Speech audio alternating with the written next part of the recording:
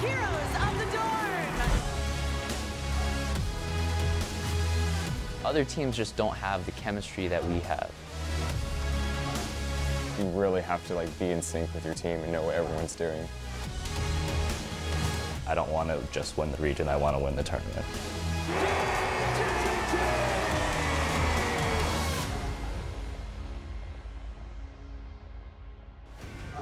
And welcome to Heroes of the Dorm Atlantic Coast Region, a new and exciting addition to North America's premier collegiate gaming competition, where teams from across the United States and Canada are competing for their shot to win fully paid college tuition, all by playing a video game. Heroes of the Storm by Blizzard Entertainment. It's pretty exciting stuff. Absolutely. This is a show where we'll be chronicling the journey of teams that you know and love from colleges all along the Atlantic coast. We'll be going behind the scenes to interview some of the players to find out what it means to be a competitor in this online gaming competition. This is now the fourth year Heroes of the Dorm has been running, and there's nothing more exciting than competing for over $500,000 in scholarships and prizing. Trust me, when I went to school, if my parents knew about this, they would have been installing the game for me. My name is Albert Halloran Haley III. And I am Paul Inverum Todkill, and we'll be your hosts, but we're not alone. We're going to be joined by Braun the Source Mitchell, the professor, as we like to call him, with his notebook of infinite knowledge, pulling out all of the amazing stats for you this year. It's going to be pretty awesome. Hearing about all the deep insights into these teams, hearing their stories particularly, is always super exciting. And of course, we have to take a look at the stats. This is week number two, so let's hop on over and see how our teams are doing. Now, if we take a look up near the top, FSU Crab Legs from Florida State, we talked about them last week, got a chance to sit down and speak with them, hear their thoughts. They are near the top of the pack, doing pretty well. That leg up on the competition that we talked about. But this week, we're looking at Virginia Tech and Clemson. We've got a chance to sit down and talk with Clemson quite a bit, hear their stories, and it's, a, it's pretty cool. They're a young team over there, but they're doing a lot of great stuff. We have a really cool program for you today. Like I said, we're going to be talking to Bobby Burnside over at Clemson. He's heading up their esports department, talking to Tiger Storm, and hearing about their thoughts in this upcoming matchup on Heroes of the Dorm Atlantic Coast region when we return.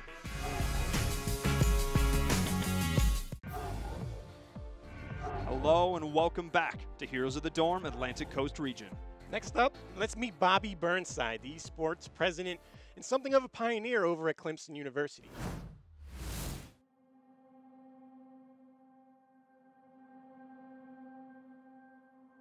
Well, Clemson football has basically put Clemson on the map, I would say. Clemson was always my number one choice. I grew up going to Clemson football games. My sister went to Clemson, graduated, so I've always been around here in the environment. Most of my best friends went to Clemson. It's family.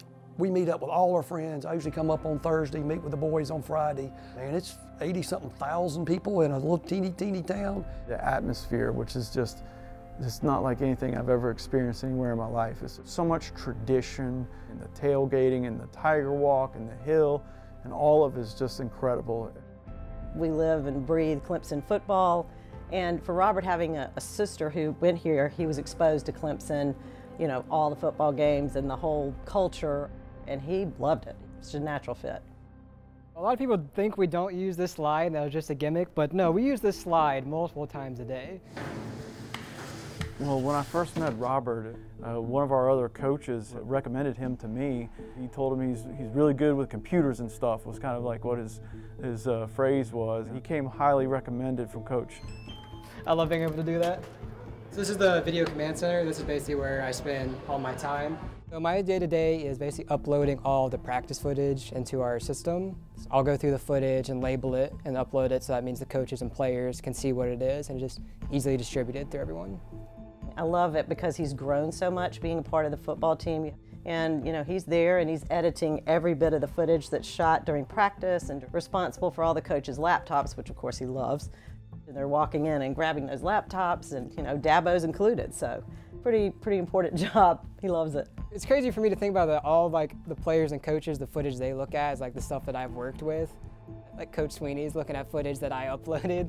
That's I still haven't gotten used to that yet he kind of has an inside knowledge of what's going on too, which is kind of fun for us. And my husband's probably the biggest Clemson fan that ever lived, so this is his dream, you know. We sit in his tickets now instead of mine because you know they're better tickets. So it's it's a blast that, that we can share that that bond.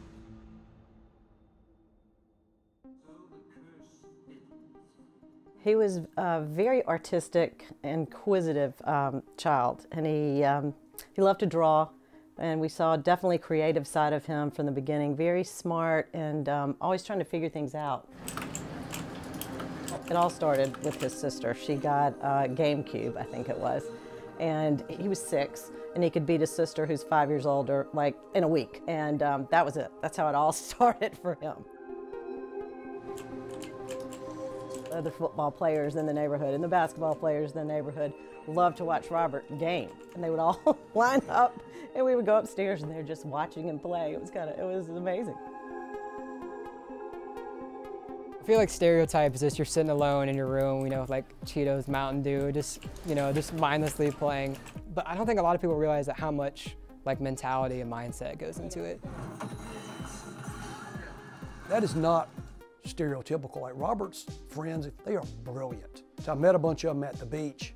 And back in my day, when we went to the beach, we'd roll up in the cars and unload 20 cases of beer, right? No lie, these kids pull up and they start bringing in computer after computer after monitor.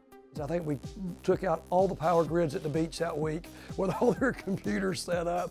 Because I had so many parents that would say, you know, aren't you concerned that he's playing games all the time? And I, I wanted to support Robert in whatever he wanted to do. And he loved gaming. I did not think that I was going to get that big into esports. And I didn't realize that esports was so big even at a college level. Like I didn't know we had an esports club before I applied to Clemson. Hey guys, we're giving away a TESPA hoodie next. So I'll just show you what it looks like. They're actually pretty nice. So I'm the president of our esports club. So I basically oversee all of the club aspects and help you know recruit new players, host events, basically get teams formed. So NVIDIA and TESPA provide us with a lot of loot. So basically after every game, we're giving out prizes to everyone who's coming to watch. Once these games get going, everyone starts getting, getting into it. And it's just like watching a sports game. People cheer for their team, get excited when there's crazy plays. Just, it's a great atmosphere. So here the dorm is awesome because I feel like it's one of the first legitimized college esports leagues, you could call it. And so it's great to see all these different schools coming out and competing. So it's just like a whole family. So before people were like playing alone in their dorms, and we tried to want to bring everyone together and have like a place on campus for them. And he loves the community of esports. That's what it's all about to him. He wants the whole industry to grow, not just Clemson's esports, but the whole industry. Professionally, it's grown so much with all these leagues and all these big organizations are getting into it. So I definitely see it more going the traditional sports route where so people are like, oh, I'm watching the basketball game tonight. It's like, oh, the Hots team's playing at 8 o'clock. Let's go watch them. So I feel like it's going to be more widely accepted.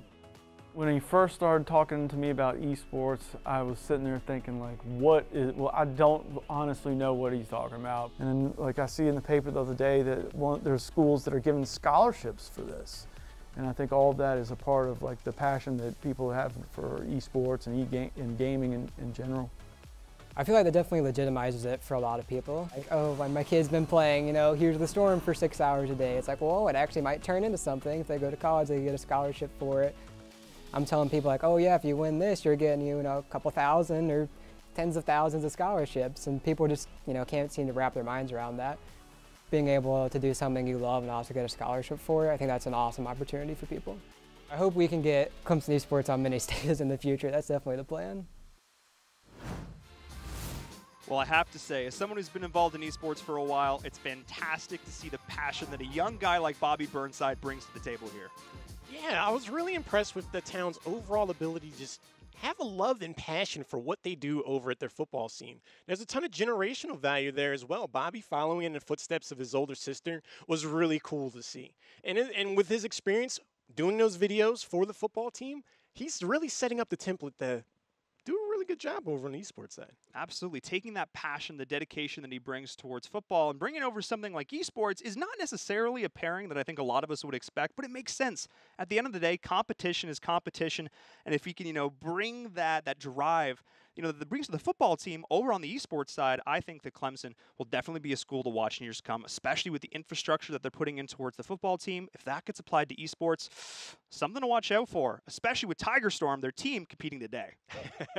yeah, I mean, they may not meet, they may not need the locker rooms over there on the esports side, but it, fancy computers, things like that, they can get those set up. That'd be pretty cool. Absolutely. And we're going to talk to Tiger Storm when we return. We got a chance to sit down with them when we come back with Heroes of the Dorm Atlantic Coast Region. Hello and welcome back to Heroes of the Dorm Atlantic Coast Region. We got a chance to sit down with Tiger Storm. They're a young team. Let's see what they have to say.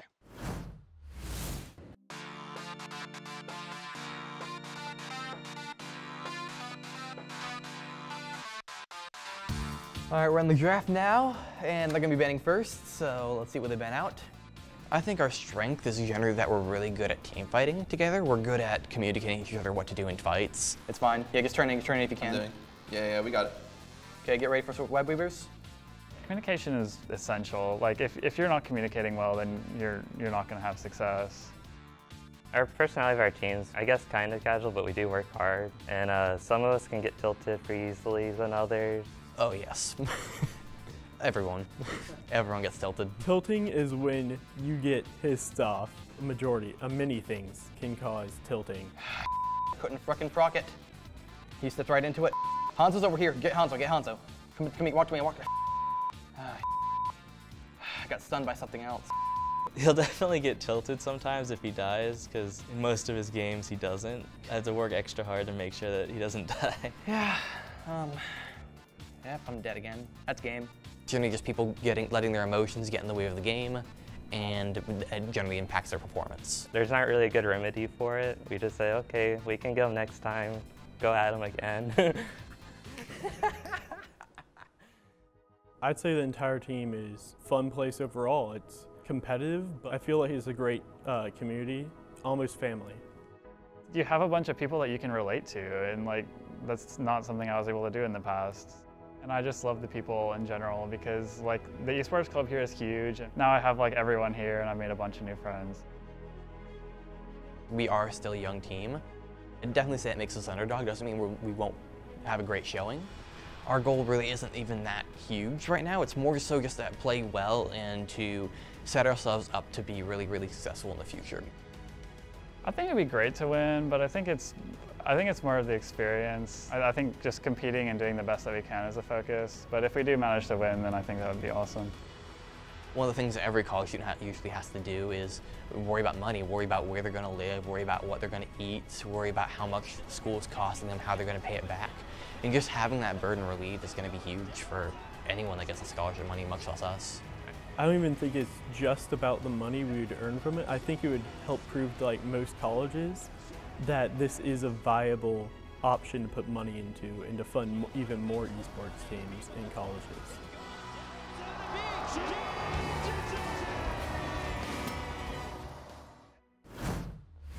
Tiger Storm. They're a bunch of young guys, but you know what? I think they have some potential. I agree. One thing they have going for them is that they don't have a lot of experience. So what they're going to be able to do is bring an unpredictable element to all the opponents that they find at least through the regular season. They also have a lot of gumption. It seems like they really care about each other, and I think they could do really well here. Absolutely. And taking a look at these standings one more time, they are right in the middle of the pack again. So It's going to be interesting to see how they do here because this matchup has a lot of repercussions. And we talked about it before. Momentum is super important here. If they win this, they could carry them far. I, I agree. They're going up against Virginia Tech here, a team that does have a lot of experience. So this will be a really good opportunity to see how far they'll go in a region. I think if they do well here, they'll at least show up in the top half of the Atlantic Coast region. Well, let's see. We've done a lot of talking. It's time to play some games. When we return, the Source is going to be joining us for our matchup here. Virginia Tech, Clemson, Heroes of the Dorm Atlantic Coast region. Don't go anywhere.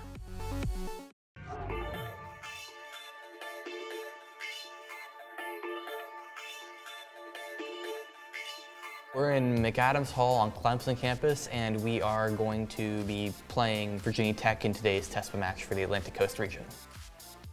Uh, mouse pads, ma mice, generally just because of accuracy, uh, and their headsets as well, and an Ethernet um, cable so we have better connections. And then Avery dragged us that whole PC, so yeah. We feel like nerds. We feel like nerds. It's not so good when your grandma asks you to fix your phone, but it's pretty good when people just call you out in the street. Hey nerds! Before a competition, you generally like to give up and get together and discuss strategy, look over some tapes, and try to improve in that time. We're very good at fighting together, I'd say. We're pretty good at generally meshing together and playing fights well. The issue is going to be rotating to correctly and um, making sure everyone's in the right position at the right time to jump on an objective. All right, guys, we're gonna make sure we draft a lot of wave clear because we're playing Kurt, um, we're playing Spider Queen, and make sure we get a good front line, okay? Three, two, one, go Tigers! Welcome back to Heroes of the Dorm Atlantic Coast region. It's game time. Virginia Tech up against Clemson. My name is Inverum, joined by Halorn and the source on the desk. Going to be bringing us all the epic stats. I, I, expect big things. The notebook is back. The notebook is back. It's full of numbers. Uh, we'll find out what all of them are. I've spent a lot of time trying to learn about a lot of these players, and plenty of them are new, so the information is hard to find. It's going to be exciting to see how this matchup unfolds. We have the new players versus a little bit more of the veteran squad. It's going to be interesting. I have I have good expectations for Clemson though. I think it's going to be a really interesting matchup because, like you said, it is going to be experience versus newcomers. Experience means that we might say something we're more familiar with here on the desk. Meanwhile, Clemson could come up with something we've never seen before. Absolutely. We're talking about these players, so let's take a look at these team rosters here and see exactly who is going to be bringing it to the Nexus today. We're starting here with Virginia Tech. Virginia Tech, I, I had, had a chance to look over this team. They have a lot of experience. Two of the players have been playing since 2015. So taking a look across the aisle at their opponents, we have Tiger Storm from Clemson University. We had a chance to sit down and talk with these guys earlier, so they're a little bit more of a familiar face to us we talk about the roles in Heroes of the Storm, this is pretty important because we break down our characters into a few different roles. We can actually talk about those a little bit more now. So we'll start off with the Assassin role. This is high damage dealing. These are the types of characters who are your carries. These are the people who make the massive plays for you, and usually the ones either cleaning up a team fight or opening it up with the damage. Then there's my favorite. I like to play the Warriors almost all the time. They like to lead the charge in the battle. They normally have the highest health pools. They like to set up big plays for those assassins and then take some of the damage for them as well. Absolutely. And looking at the supports as well, they're all about healing. They're about keeping those warriors and those assassins alive and allowing them to do their jobs. The supports are all about enabling their teammates. And lastly, we have the specialists, and they kind of fit pretty much all of the other possible scenarios you can think of. You've got pushing, you've got sort of pseudo supports, you've also got a couple of other interesting mechanics, maybe stopping minions the Sylvanas, or being able to siege other lanes as Azmodan. So we've taken a look at these drafts, we've looked at these teams, but now it's time to talk about the battleground. We're going to be on Tomb with the Spider Queen. It's a small three-lane matchup with a fairly simple objective. The source, take it away. So on this map, you're going to be turning in a series of gems that you get off of killing spider minions, and you're going to use those to summon large spiders, the web weavers, to push down the lanes and help you push the objective. What makes it difficult is turning those gems in. Any bit of interruption from your opponent, if they throw a pebble at you or poke you with a stick even, that is going to stop that turn in, and it becomes difficult to be able to defend that and make that, uh, you know, your prime objective. Personally, this is one of my favorite battlegrounds because it invites a lot of action early on in the game. A hero like Diablo, someone likes to shadow charge and go in on someone that's out of position, could do very well here. Clemson University definitely took a right hero for this battleground. Absolutely. Capitalizing on these small confined spaces means action from the first minute from the get-go. It's one of the reasons I also love this battleground. So we're going to be getting right into it with our first matchup, Virginia Tech up against Clemson. Let's do it. Over on the left side, we have Virginia Tech. It's going to be Tim for Virginia Tech playing Hanzo. DTI 12 is on Ana. Dr. D's playing Tyrael, not Andrew. We'll be sliding on in ETC. And Jack V1 is on green. Yep, and over on the red side, we've got the members of Clemson Tiger Storm. Jake is good 13 on the Diablo, ZB Skeleton on the Kael'thas, Mayan Ryan on the Blaze, MLG Brownman on Uther, and Hurricane is going to be on that Genji. Early on to start this game, looks like there's going to be a good amount of action in the middle. Note that Blaze is going down to the bottom for Clemson. So they have something else up their sleeve. Not Andrews hanging out in the bush, seeing if he can catch somebody out of position. Yeah, and on Tomb and the Spider Queen, it's one of our maps that has a dedicated solo lane. Sometimes there are a couple of rotation options. You can rotate mid lane to top lane or mid lane to bottom. And set up a solo lane in, in either the top or the bottom, but tends to be the bottom as there's an extra mercenary camp that will spawn down there. We'll see the teams rotate between the lanes, picking up the gems, trying to maximize that as much as possible. And by sending and Ryan down there on the Blaze, they already get a little bit of push, and it gives them some advantage, and we already have some fighting in the mid. Oh, a nice charge from Jake is good. It's going to isolate not Andrew. The follow-up damage from Hurricane 9's almost enough to get the first takedown in the game, but ETC going to be able to escape. Yeah, an impressive maneuvering and healing um, coming out from uh, the Ana on D DTI 12. Ugh, that one's going to take me a little while. um, and it's difficult because the Ana has to land that healing as a skill shot because it's not as conventional healing as you'd normally expect. They're already putting a lot of pressure onto not Andrew. I really like Hurricane 9's play so far. He's putting continuous harassment on ETC. It's making it really hard for Not Andrew to establish some kind of offensive in this early part of the game. Down in the bottom lane, looks like Mayan Ryan's putting the screws to Dr. D on Tyrael. He's not really known for his solo laning prowess, so Tyrael's going to have, have, a struggle now. Yeah, it's always been a challenge, especially with the new upgrades to Tyrael with his um, changes in the most recent patch. He's much better when he's grouped. He's able to put a shield onto all of those minions. He has taken that level 1 talent. And so it makes him better in the rotation, but they may just feel that Dr. D is their best solo laner. It's also giving space for Jack V1 to be able to go and start up that early mercenary camp. What we're seeing here is a more disciplined approach to this battleground. Sometimes we see four-man groups going around looking for those takedowns early, but it looks like both teams just resigned to making sure they're catching as much experience as possible. If they see an opportunity, it looks like they're poised to take it, but right now they're just playing it safe. Yep, gem count has been pretty even across the board. Both teams have been collecting what they've been able to get.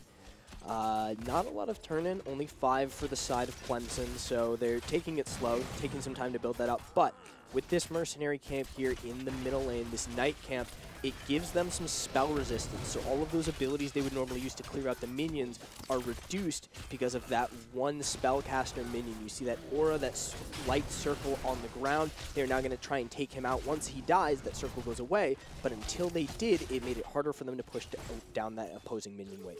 And this is something that a more passive beginning to a game will enable for a team that has the presence of mind to go over and get that bruiser camp. Thankfully, Clemson was able to defend that very well, so they didn't lose too much on structures. But up in the top lane, the towers took a bit of damage. Yeah, the more early sieging you can get done on a map like Tomb of the Spider Queen, the better. Any of these maps with direct pushing mechanics, such as these web weavers, the damage is permanent, and that damage will eventually net you experience. It also makes it so when you do eventually turn in that web weaver wave, that web weaver will get further and further towards your opponent's nexus. It's going to be really interesting interesting to see how these teams prioritize going for the turn-ins. It's going to be a lot of control you need to have on the map to be able to complete that channel. Like you said, if you get poked with a stick, you're going to have a bad time. But Jack version 1 is going to put some damage on the Mayan Ryan and help out Tyrael in the bottom. Yeah, it's difficult to be able to put a lot of pressure on the Blaze, but we already see that defense on the turn-in. Not Andrew was looking to be able to deposit those gems, and it only took one ability, and it was from the support. Brown Man didn't do a lot of damage uh, with with that Uther spell. It you know isn't meant to be able to hurt him much. It's just meant to be able to slow him down, stop him from doing what he wants to do. He's even picked up the uh, the Burning Rage. He's got that flame aura around him, so he just needs to walk near him now to be able to interrupt It's going to be that much more difficult to get the first set of web weavers, but Jake is going to be able to turn in 14, it looks like, at this rate. Down in the bottom lane, Dr. D and Jack teamed up to get that siege camp if that's left to its own devices. That could net some value. A nice gravity lapse from ZB Skeleton does some damage to not Andrew. He's trying to wrap around the corner, but DT with these snipes from Ana is on point. Yeah, DT is keeping a good eye on not Andrew, seeing how much the side of Clemson has been prioritizing him, how much pressure they've been looking to put on. And because they rotated two members into that bottom lane to get that mercenary value, they ended up giving up some of the turn-in pressure. Now, it is 19 to 19, but the first turn-in can be very crucial depending on when it happens.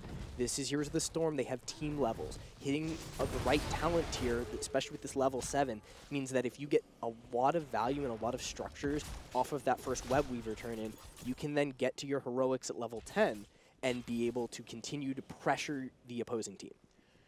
Levels are something that's very important in Heroes of the Storm. Both teams now round level 7, so they get another talent. One thing that I'm looking forward to seeing is how Jake handles Diablo. Level 7, he took the Diabolical Momentum, which means he'll be able to Shadow Charge and do those flips a bit more often. Yeah, looking to add in the increased crowd control, and it also is a very uh, squishy backline. Um, the, the members of the side of Virginia Tech, their more vulnerable characters have very low health pools. They have they have a nice front line, but Ana's not very mobile. Hanzo is only mobile when he's near a wall and can use his passive to get away. And Greymane is only as mobile as the player is good at the character. So it becomes difficult if the members from Clemson get in the backline that Diablo can wreak a lot of havoc. Another thing is, the slower this game goes at the beginning, the more souls you'll be able to stack, which means his health pool will be that much higher. Shadow Charge goes in on the Jack. Greymane could be caught in a tough spot. He uses his fancy footwork to jump into the top lane and makes a daring escape. Uh, we should just There's push, uh, just push all the lanes. Just get, try to get on walls down and right go now. for the takedown, but they decided not to. They are going to be able to. We just wanna try to get on level bottom. 10s and Blaze fight was that. able to sneak in there, get away from material, and be able to turn it without being interrupted. Here comes the first Web Weaver wave. It is close to level 8, so we could see a mid-Web Weaver team fight happen around that, uh, that level 10 power spike depending on where the teams decide to prioritize. If the members of Clemson can get down two walls, they should hit that amount of experience.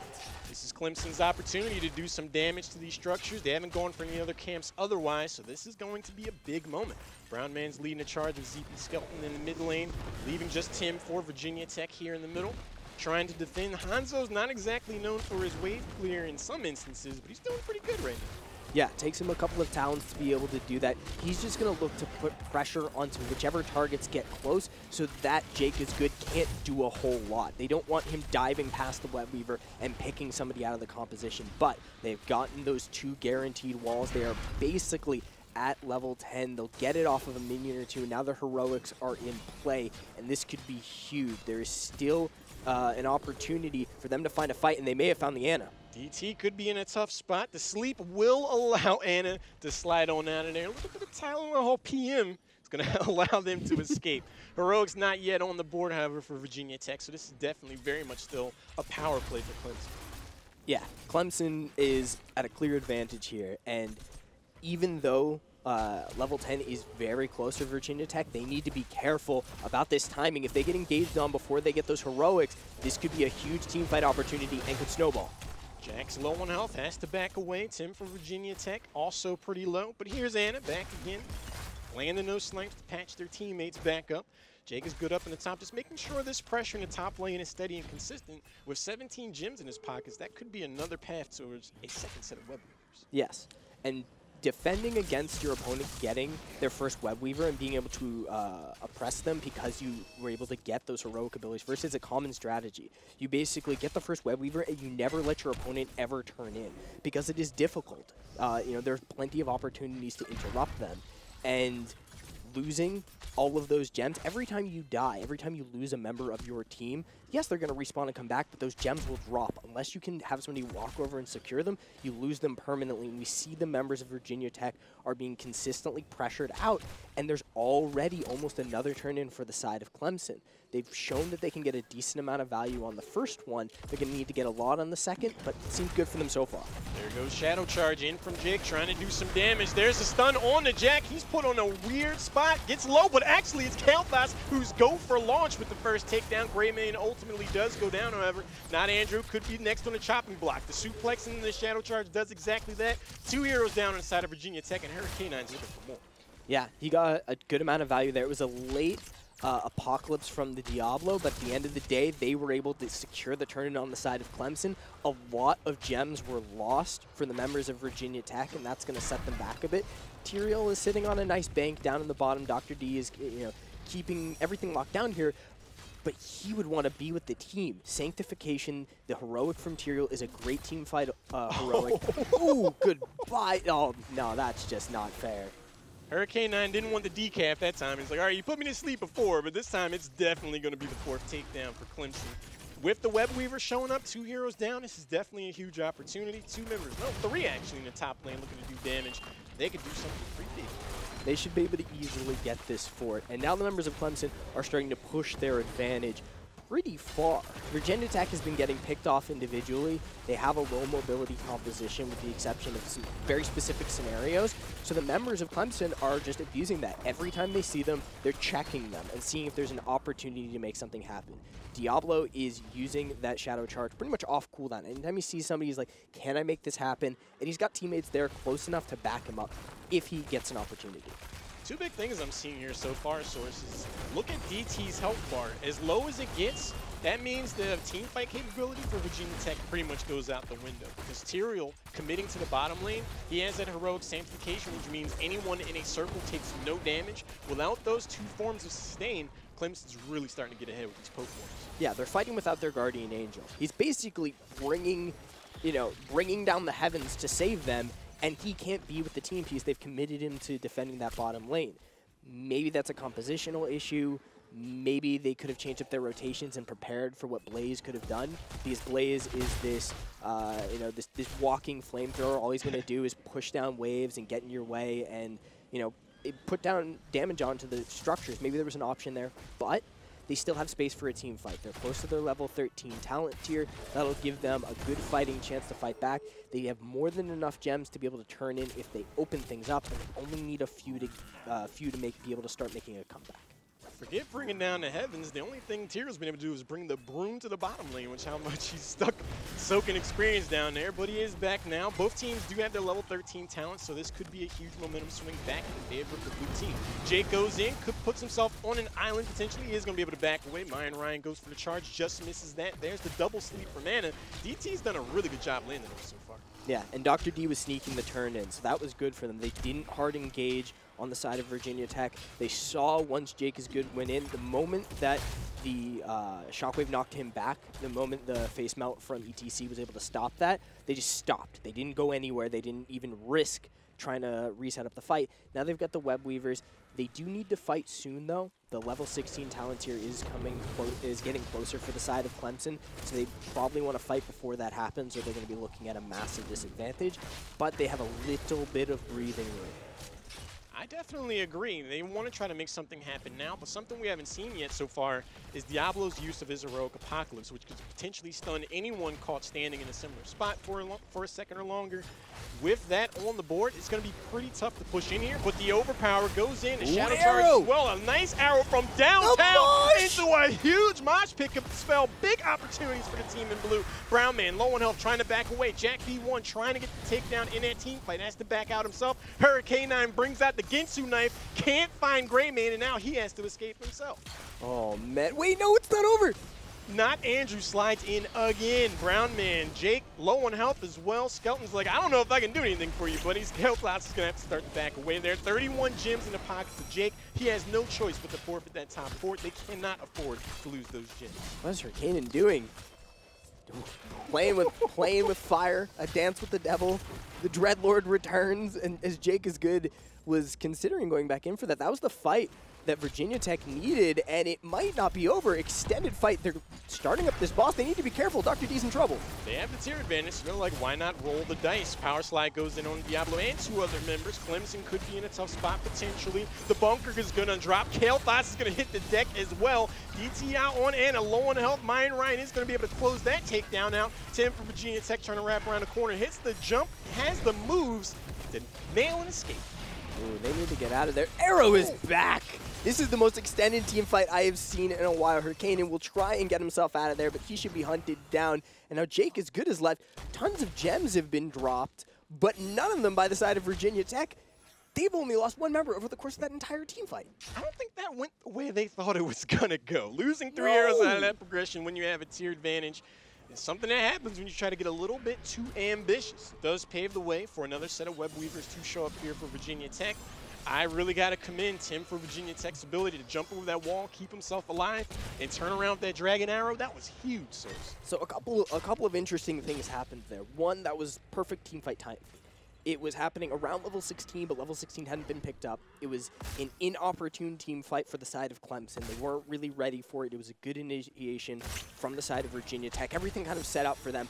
And then Genji went too far. They got the three-man mosh off of the arrow. So many things lined up for them that they were able to slow play that fight, and it let Ana heal for an extended period of time, and she, she didn't have to worry about healing everybody. She was able to focus on one target at a time because of great spacing by Virginia Tech. They spread themselves out, and they forced their opponents to get out of position. This is something that you can see from a newer team like Clemson University. If they are able to coordinate their heroics and get that engage that they're looking for, they could definitely get the upper hand in these team fights. Jake is going to shadow charge in with 42 gems. If he goes down, that's going to be a lot in the line. A nice stun in, a two-person mosh pit. Is the damage going to be there? The Dragon Arrow follows up. Genji waves goodbye. Pressure gets put on his top keep. Brown Man's trying to step forward. Jackson be able to back away. Right now, this is definitely a power play for Virginia Tech. Some brutal, some brutal brotherly love from Hanzo to Genji. Now the members of Virginia Tech, they can choose to siege again. They've already used two turn-ins, so they kind of need to slow it down a little bit. Maybe go for the boss. And Just, hey, whenever you see TC slide at me, just APOC. I don't have APOC up now. I, am but not right now, but like I'm saying just in general. Yeah. Well, I just couldn't react in time because I got stunned while he did that. Like, don't wait for his animation. Just whenever he slides in onto me. Well, no, I guess he slided stun to me too, so. Additional structure value. They've gotten some of those walls, and now there's a turn-in for the side of Clemson. This will kind of negate the value of this boss because the members of Virginia Tech will have to worry about the other lanes being pushed out, and their boss is going to pretty much be stopped because they have to go deal with the, the rest of the map. This is an interesting neutralizing gesture here from Clemson University because, like you said, the Web Weavers up top is going to be able to clear out this boss with relative ease. But other than that, it's largely a defensive gesture. Normally, you want to pick these Web Weavers up to try to do damage on the other side of the map, but they're well ahead in structures right now. So this is just going to kind of even things out in the race to level 20. Yeah, this is this is a. It, it's a solid, a solid stalling tactic from Clemson after how badly those last few engagements have gone for them. They can kind of take some time, regroup themselves. They don't have to worry about too much. They also still have a, a couple of gems in, in the bank to be able to turn in. It's not a massive amount, but they're not completely broken that capacity. On the other side, the members of Virginia Tech, they're starting to build up close to that third turn-in and they've done a good job of capitalizing on their turn. and So far, this is a slightly dangerous position for them, but Blaze is a little far out, so they won't be getting engaged on just yet. Yeah, they're mount up and they're going to be able to get out of there. This is another instance where we see some of the veteran experience of Virginia Tech come to fruition. They're going to go ahead and let the Web Weaver just die alone up top and get some pressure down in the bot lane. They could have potentially tried to push with the boss, make something happen, but what we're seeing is a team that's thinking two or three steps ahead. Yeah, they're willing to kind of slow play this till they see an opportunity. Uh, the arrows coming out from Hanzo have been very good, great uh, great placement and timing on them. It's a new heroic, it's a new hero. He's only been around for a little while. His, his, his competitive play has been uh, impressive, but they're, they've done a good job of learning how to time out when they want that initiation to happen because normally your initiation comes from your warrior players. It comes from your tanks. The people in the front line are deciding when they want to dive. This is a go button from the back line, so it's you know it takes a little bit more coordination. It's not something you expect to see on the other side. You see that arrow come from off screen, your eyes jump out of your skull pretty much. And we saw exactly that after that nice mosh pit up in the top lane. Clemson's going to go ahead and pick up their bruiser camp. The bruiser camp was also snapped up, however, for Virginia Tech. The blue team finds themselves slightly ahead in experience, and once they get level 20, that could be a huge opportunity. Yeah, timing 20 with a Web Weaver wave could be a, the death march for them. That could be the opportunity for them to be able to win the game. Okay, got play it. That was a bad.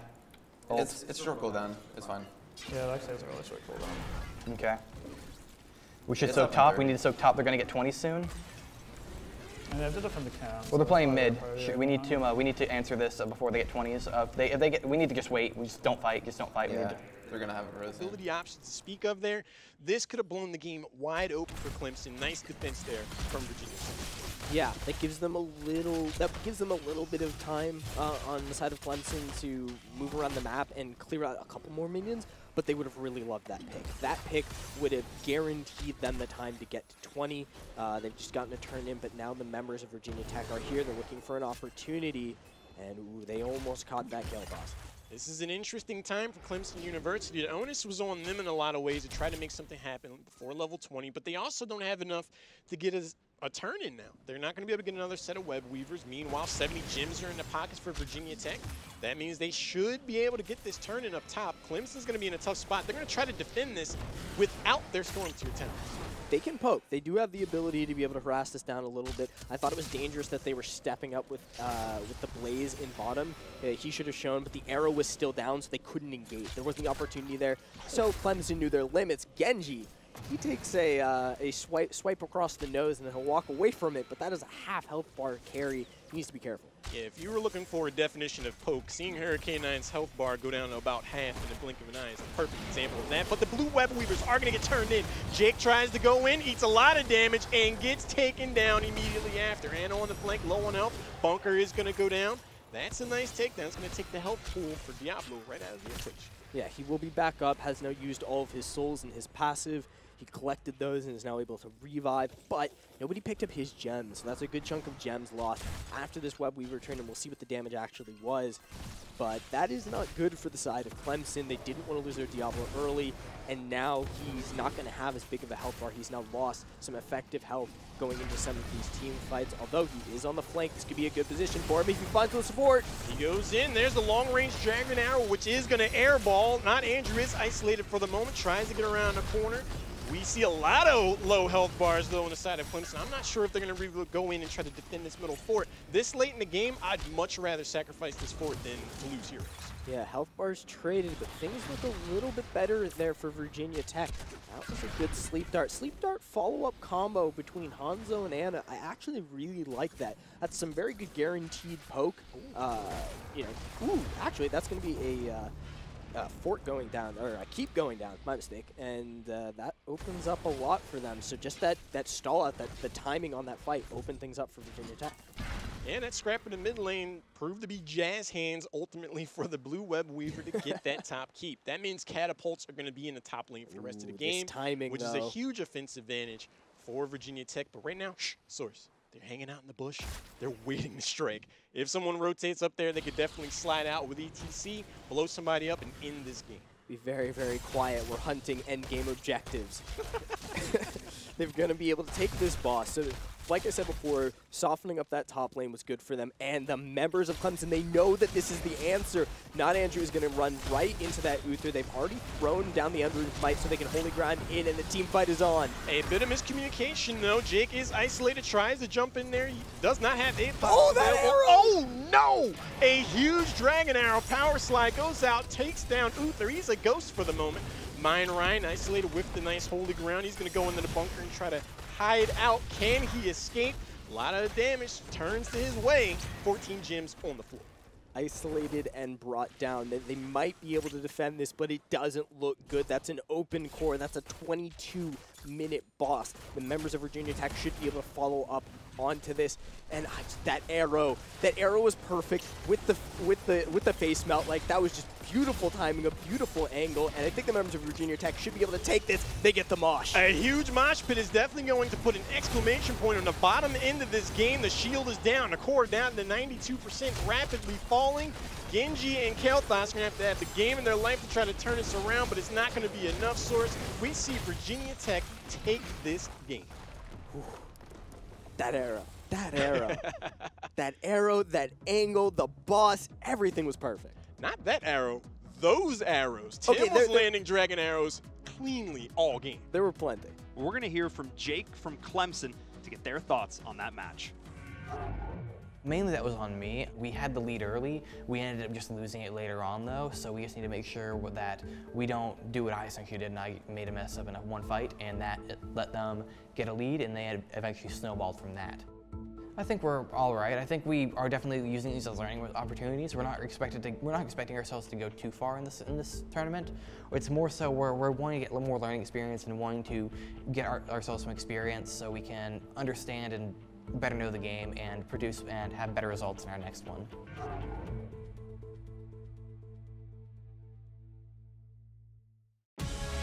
We can fight this. We can fight this. Yep, I'm dead again. That's game. Yeah, right, nice try, guys. Welcome back to Heroes of the Dorm Atlantic Coast region. We've had another awesome episode for you here, taking a look at the team over at Clemson and watching some awesome matches here. But in the end, Virginia Tech ended up taking it home. That being said, we have another awesome episode for you coming your way next week. UNC, we're going to be heading down that way, chatting with them, hearing their stories, and learning more about their adventures in the Nexus and how it all ties together with collegiate esports. That and more next week coming right at you of the Dorm, Atlantic Coast region.